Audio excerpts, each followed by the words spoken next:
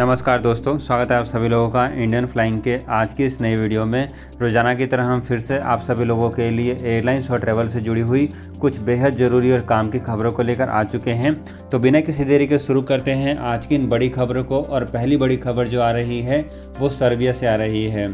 आपको बता दें कि सर्बिया एक ऐसी कंट्री है जिसने अभी भी भारतीय पैसेंजर्स के लिए अपने अंतर्राष्ट्रीय बॉर्डर खोले हुए हैं और इस समय बहुत सारे स्टूडेंट्स इसके अलावा इंटरनेशनल ट्रैवल बाय सर्बिया होकर दूसरी कंट्री में ट्रैवल कर रहे थे।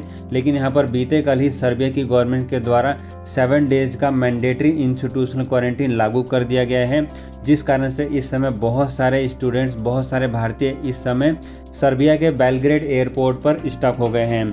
आपको बता दें कि इसको लेकर ट्विटर पर कई सारे स्टूडेंट्स ने, कई सारे लोगों ने भारत सरकार से मदद मांगी है, लेकिन अभी तक इन लोगों को मदद नहीं पहुँच पाई है। आप भी यदि यहाँ पर सर्बिया के लिए ट्रैवल करने वाले हैं तो इस बात का ध्यान रखें।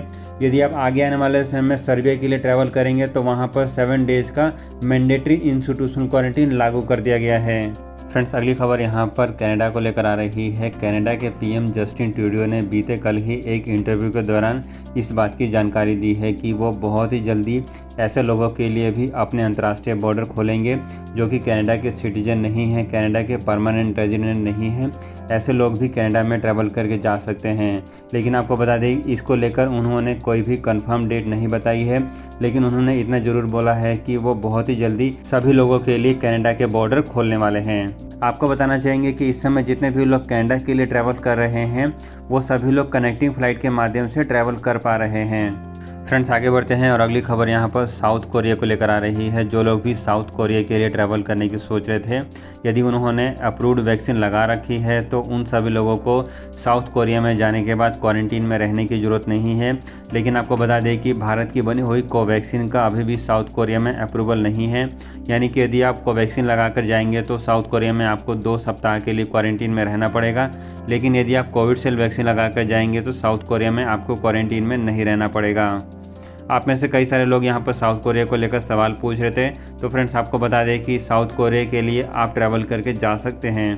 साउथ कोरिया के अलावा और भी दुनिया के दस देश ऐसे हैं जिन्होंने अभी हाल ही में भारतीयों के लिए अपने बॉर्डर खोल दिए हैं और भारतीयों के लिए वीज़ा की सर्विस भी चालू कर रहे हैं। उसको लेकर एक सेपरेट वीडियो हमने चैनल पर डाल दी है। यदि अभी तक आपने उस वीडियो को नहीं देखा है तो आई के बटन पर क्लिक करके देख सकते हैं। नहीं तो आप वीडियो के डिस्क्रिप्शन बॉक्स में भी उसका लिंक मिल जाएगा। वहाँ से क्लिक करके आप उस वीडियो को देख सकते हैं। इसके अलावा फ्रेंड्स अगली खबर यहाँ पर दिल्ली एयरपोर्ट से आ रही है। दिल्ली एयरपोर्ट के टर्मिनल टू को फिर दोबारा से जुलाई महीने के आखिरी तक खोला जा सकता है। आपको बता दें कि इस समय कम ट्रैफ़िक के चलते हुए दिल्ली एयरपोर्ट के केवल टर्मिनल थ्री को ही खोला गया है। लेकिन जैसे जैसे आप पैसेंजर्स की संख्या बढ़ रही है और फ्लाइटें नॉर्मल बेसिस पर चालू हो गई हैं, उसको देखते हुए अब दिल्ली एयरपोर्ट के टर्मिनल टू को भी बहुत ही जल्दी खोला जा सकता है। यदि दिल्ली एयरपोर्ट का टर्मिनल टू खुल जाता है तो आगे आने वाले समय में यदि आप फ़्लाइट से ट्रेवल करते हैं तो एक बार आप अपने टर्मिनल को अवश्य ही कंफर्म कर लें, नहीं तो आप यहाँ पर बड़ी मुसीबत में फंस सकते हैं। फ्रेंड्स, अगली खबर यहाँ पर भारत के नए एविएशन मिनिस्टर ज्योतिराज सिंधिया को लेकर आ गई है। ज्योतिराज सिंधिया ने अपने ट्विटर हैंडल अकाउंट से ट्वीट करके जानकारी दी है कि वो मध्य प्रदेश से आठ नई फ्लाइटों को चालू कर रहे हैं। आपको बता दें कि यहाँ पर ज्योतिराज सिंधिया भी मध्य प्रदेश से बिलोंग करते हैं और आते ही उन्होंने एमपी यानी कि मध्य प्रदेश से आठ नई फ्लाइटों को चालू कर दिया है। ये सारी की सारी फ्लाइटें स्पाइस के द्वारा ऑपरेट की जाएगी, जिनमें से ज़्यादातर फ्लाइटें जो हैं गुजरात और महाराष्ट्र के लिए हैं। आपको बताना चाहेंगे कि ज्योतिराज सिंधिया से काफ़ी ज़्यादा उम्मीदें हैं और ये देखने वाली बात रहती है कि आगे आने वाले समय में ज्योतिराज सिंधिया, जो कि नए सिविल एविएशन मिनिस्टर हैं, वो किस तरीके का डिसीज़न लेते हैं। फ्रेंड्स, आगे बढ़ने से पहले आप सभी लोगों से रिक्वेस्ट है कि अभी तक आपने इस वीडियो को लाइक नहीं किया है, प्लीज़ लाइक कर दें और चैनल को ज़रूर सब्सक्राइब करके रखें ताकि आपको ऐसी लेटेस्ट अपडेट समय पर मिलती रहे। नेक्स्ट अपडेट की तरफ़ चलते हैं, जो आ रही है दुबई से। दुबई ने इस समय दुनिया के कई सारे देशों से अपनी फ़्लाइटों को चालू रखा हुआ है और यहाँ पर दुबई एयरपोर्ट की तरफ़ से जानकारी शेयर की गई है कि इस गर्मियों के सीज़न में तकरीबन एक लाख लोग दुबई में घूमने के लिए आने वाले हैं। आपको बता दें कि भारत और दुबई के बीच में भी अभी भी फ़्लाइटें चालू नहीं हैं। और कोई भी पैसेंजर इस समय सीधी फ़्लाइट के माध्यम से दुबई एयरपोर्ट के लिए ट्रैवल करके नहीं जा सकता है। लेकिन यहाँ पर आपको बताते चलें कि आगे आने वाले समय में उम्मीद है कि दुबई की गवर्नमेंट भारत से अपनी अंतर्राष्ट्रीय उड़ानें जुलाई महीने के आखिरी तक चालू कर सकती है। इसके अलावा आप में से कई सारे लोगों के लगातार कमेंट्स आ रहे थे कि भारत और दुबई के बीच में अंतर्राष्ट्रीय उड़ानें कब चालू होंगी।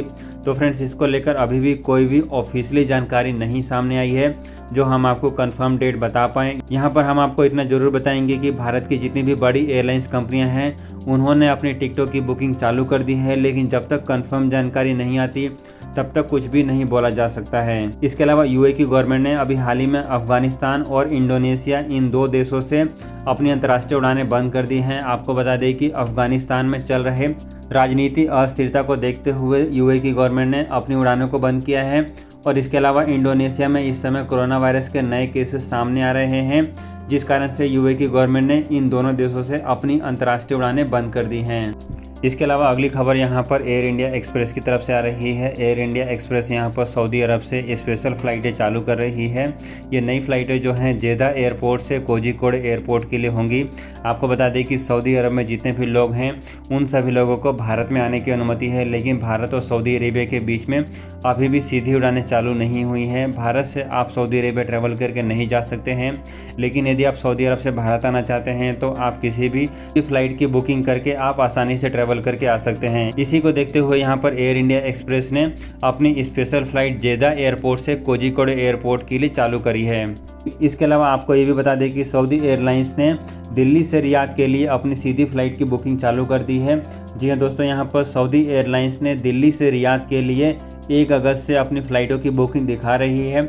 लेकिन आपको ये भी बता दें कि सऊदी गवर्नमेंट की तरफ़ से अभी भी कोई भी कंफर्म जानकारी नहीं है।